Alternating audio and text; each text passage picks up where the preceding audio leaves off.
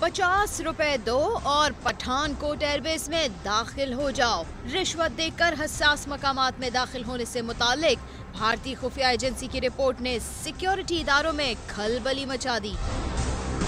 भारतीय एजेंसी की इब्तदाई तफ्तीश के मुताबिक दहशत गर्दों को धमाका खेज मवाद एयरबेस के अंदर से फराहम किया गया।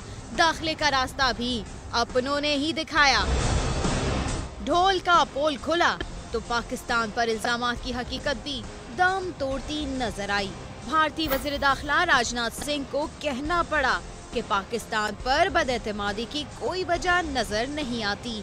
मैं समझता हूँ कि इसके संबंध में अभी आप प्रतीक्षा कीजिए। और चूँकि पाकिस्तान गवर्नमेंट ने आश्वस्त किया है तो उस पर अविश्वास करने का कोई कारण अभी नहीं है।